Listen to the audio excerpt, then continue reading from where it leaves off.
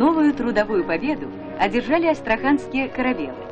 Бакинским нефтяникам отправлена плавучая буровая установка, предназначенная для бурения в море разведочных и эксплуатационных скважин. Новой буровой установке присвоено имя «60 лет октября».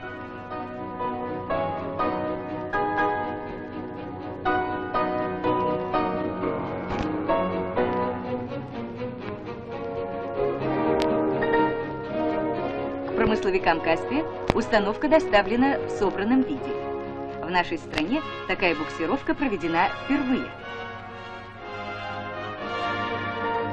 В год славного юбилея 60-летия Великого Октября новая буровая вступит в строй действующих.